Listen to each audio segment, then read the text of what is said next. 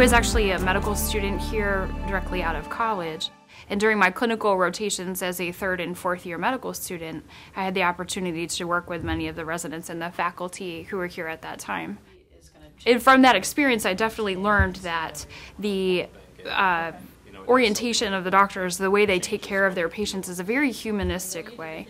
They understand their patients are mothers, grandmothers, that they exist in a family and in a community unit, and that is never lost when they're taking care of patients in the hospital.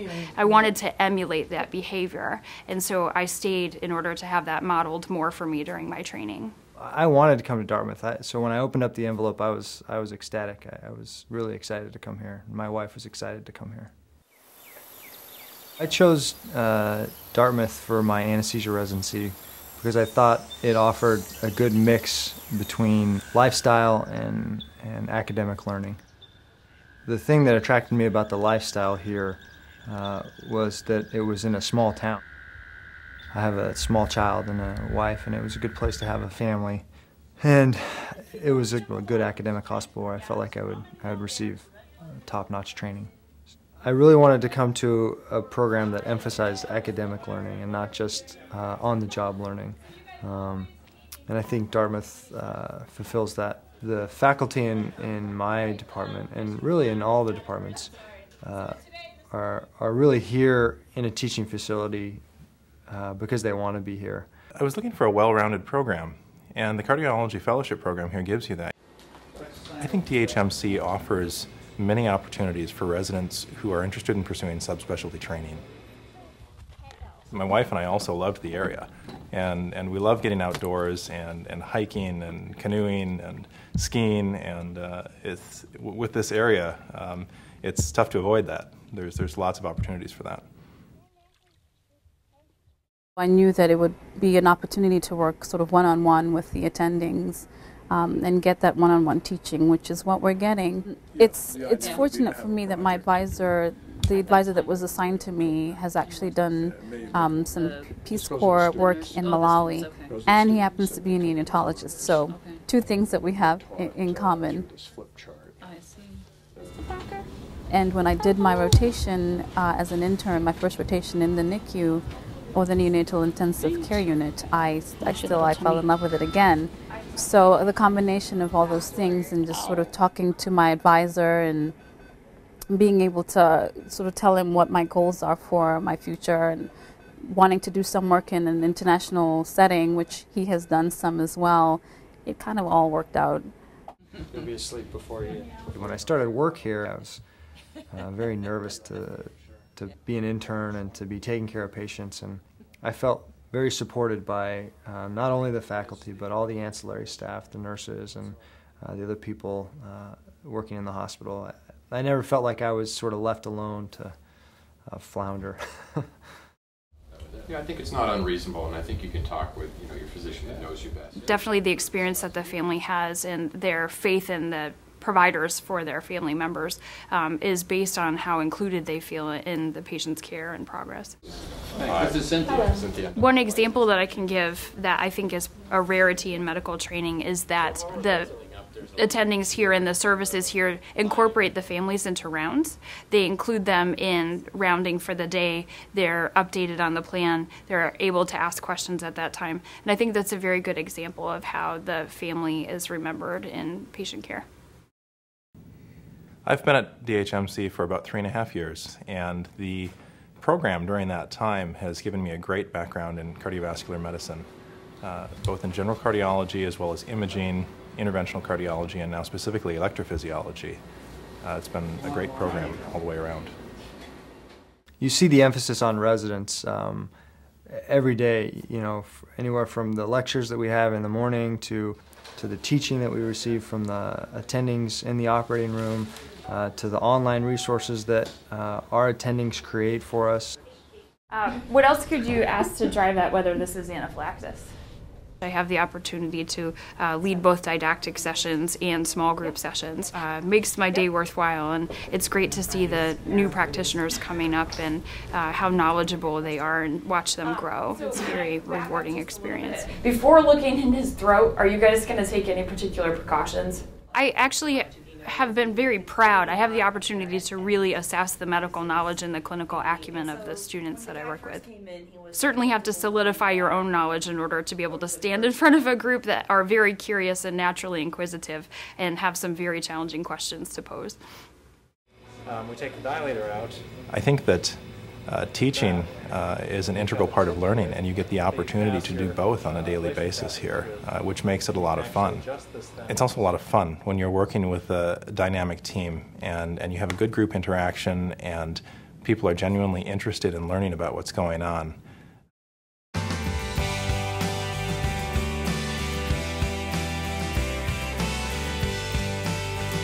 Walking into the facility itself, I remember being struck by how much natural light there is here and how much artwork there is throughout the hospital, which I think again emphasizes how important um, recognizing people as humans here uh, is to Dartmouth Hitchcock.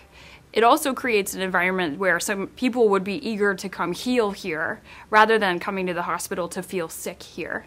And I think that's a very important distinction. Once you get into the hospital, there's a warmth about this hospital. It's a, it's a very nice facility, and there's about everything that you might need within the hospital itself. And there's uh, plenty of places to eat, not to mention the nice views that we have on in the children's on the fifth floor children's hospital. I think we have the best views in the hospital. Can I just take a look? Yeah. Dr. Ambrose described it to me, but I want to take a look and see if it it's an obvious thing to me. It's obvious. Okay. Some concerns I've heard echoed in, in folks who are reviewing the residency or candidates who are interviewing for residency are concerned that we won't have the same level of pathology that an urban center with an immigrant population would offer. Um, but I've been very surprised to find that that's not true. In fact, we because our catch, catchment area for the hospital is quite large, we have a wide breadth of pathology, and I'm seeing new things all the time, even as an attending, that uh, that are coming through the door and surprising me each time at the Veterans Hospital in White River Junction, Vermont, which is just across the border. Uh, we serve on the medical service taking care of veterans with general medical problems. It's a very unique environment. Working for veterans is very rewarding because uh, they look at you as if you're giving them a gift, when in fact you're trying to take care of people who have given us a gift in serving for our country. And so it's a great opportunity to try to give back to veterans. And they've got some very fascinating medical problems and very complex medical issues, so I've learned a lot about uh, medical knowledge and clinical care from them as well. The research that I'm um, interested in looking at, or just looking at what research has been done, is more to do with the um, disparities in the neonatal setting in terms of why is there such a discrepancy in, in child mortality in um, children of African American descent versus Hispanic children versus um, non Hispanic or non African American children. So there seems to be a higher mortality in babies um, of, of um, the minority populations. In the general internal medicine residency, research is a required component of our training. And that can you can mold that, like your education, you can mold the research requirement to meet your own individual goals, such as publishing simply a case report or reviewing a, a case at a national conference, or you can do a benchside research project, which is a very work intensive experience.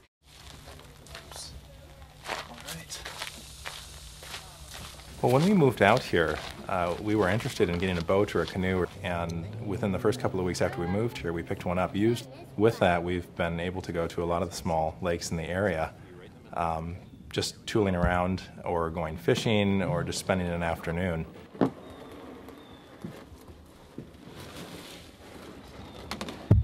In early spring, it's it's beautiful to see the trees green up.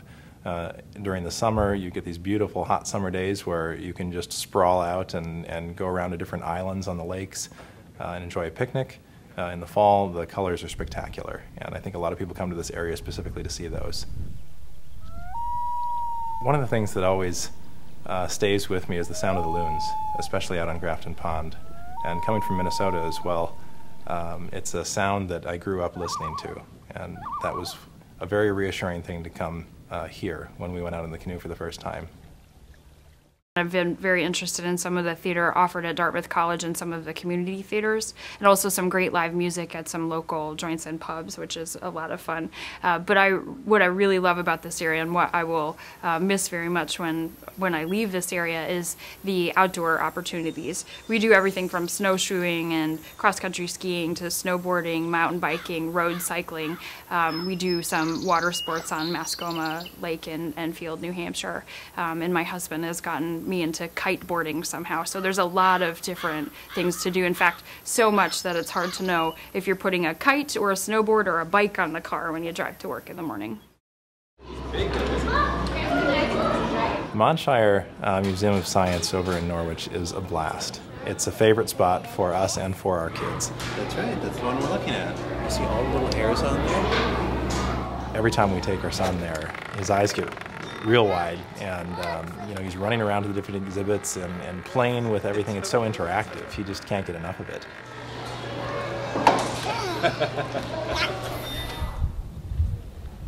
I grew up in the snow, so I, I, I specifically wanted a place where I could have snow and mountains. And uh, so uh, I spent a lot of time snowshoeing and snow skiing, downhill skiing, um, and snowboarding. Um, and I've picked up ice skating uh, since I've moved here. During the summer months, I, I ride my bike to work. I live about 10 miles away, and I'm busy enough as a, as a resident that trying to fit in exercise is difficult. It's a beautiful ride uh, both ways. Um, there's not too much traffic, and I can get here almost as fast as I can drive my car. Boston is not is just two hours away. Um, I go to Boston where I have a lot of friends that live there too. Um, a good day of shopping. Uh, Montreal is just three hours north, and it's a it's a very easy, nice drive that I've done a couple of times. So when I find time, there's always something to do. It's, it's a culture of you know people going to the gym and um, trying to stay healthy. I mean, our, we talk about the anesthesia department uh, being avid bikers. I mean, um, so I think being part of that culture has made me want to also be healthy and um, I joined the gym across the street, and it's it's a really nice gym, and I see a lot of our attendings there, and a lot of my colleagues um, are members of the gym there, and it just one, makes me want to be healthy. I mean, we have a fundraiser in the in the winter that has everything to do with skiing, and so um, even if I don't necessarily go on the slopes, I, I hope to be there and seeing the kids having fun and that sort of thing. So that's something I never thought I would ever do. She had five A's and B's overnight, uh, requiring very little stimulation. In terms of fluids and nutrition, she receives a combination of mom's. I wake up every day sort of excited about work. There, there are days when, you know, it's been busy and I've hardly slept, but um, for the most part, I am excited about coming to work every day. Even as a general pediatrician, I mean, my, my end all goal is to become a neonatologist, but even as a generalist, I think I've been well prepared, and I, you know, I'm still I'm still learning, but um, I'm feeling very comfortable already, and I think it goes to the the um, autonomy that we have here as residents, um, just being able to to learn a lot by doing a lot on your own, but with a lot of support um, available to you if needed. So I do really feel uh, prepared for the job market. Dartmouth training programs put you in a fantastic position on a national level as far as looking for a job or looking for subspecialty fellowship training when you uh, finish either your residency or fellowship here. There are world-class training programs here uh, with faculty who present at national meetings on a regular basis and have a lot of national recognition. Uh, that kind of thing really puts you in a good position when you're looking for a job or a subspecialty training program because you're coming from a program where people recognize not only the Dartmouth name, but the specific faculty and the level of training that's taking place here. Dartmouth Hitchcock invites a type of person to work here who um, is very well rounded, who appreciates a lot of their life outside the hospital. And because of that, they bring a passion for people to their work. And I think that's in part why the Dartmouth way of providing care is to always try to provide quality care in a patient-centered approach. I think that um, everyone who's interested in working in a very collegial environment that has focuses on the patient and their family and always is trying to improve the quality of care delivery, that this is a really great opportunity and you should think very much about coming to the area. It's a challenge, but it's also a great opportunity um, to, to really be the doctor for people. Um, I think an interest in research is also very helpful uh, because research and clinical medicine here are pretty strongly intertwined and there's great opportunities to incorporate the two. Uh, and it helps to like the outdoors.